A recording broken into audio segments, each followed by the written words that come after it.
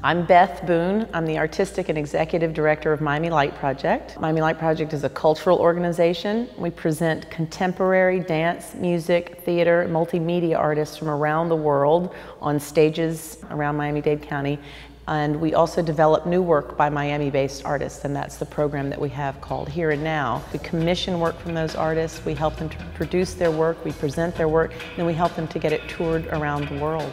And so with the Knight Challenge really sort of helped us to do, um, and I wouldn't say forced us to do or even focused us to do because it was a decision that we made about, okay, we have a variety of programs that are excellent in our opinion. How, which is the one that makes the most sense to sort of pluck out and, and build a five-year plan for it. And Here and Now was, it was a no-brainer on that one.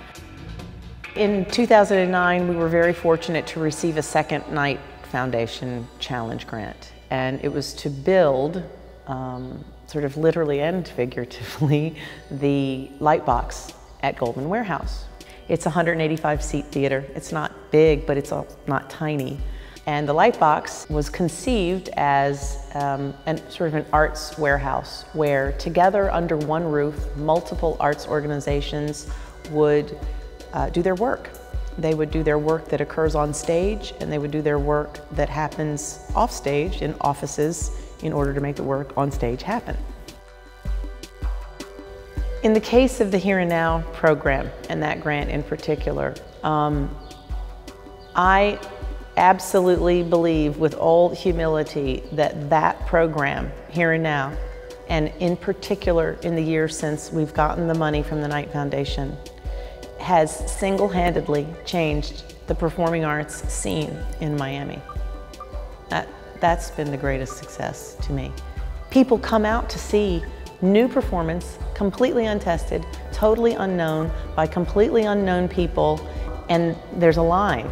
And sometimes they don't get in because it's sold out. These artists are being invited to perform their work at important festivals and major venues around the country and in some cases around the world. I think that's you know, sort of an affirmation of something that I believe for maybe obvious reasons. It's, you know, something, a project that I'm very tied to.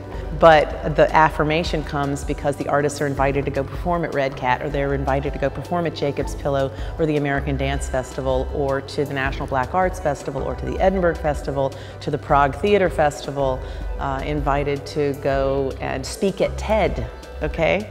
Um, go to perform at D Dance Theater Workshop at PS 122. Um, these, they're sort of one affirmation after another um, that this investment that we're making in Miami-based artists is paying off.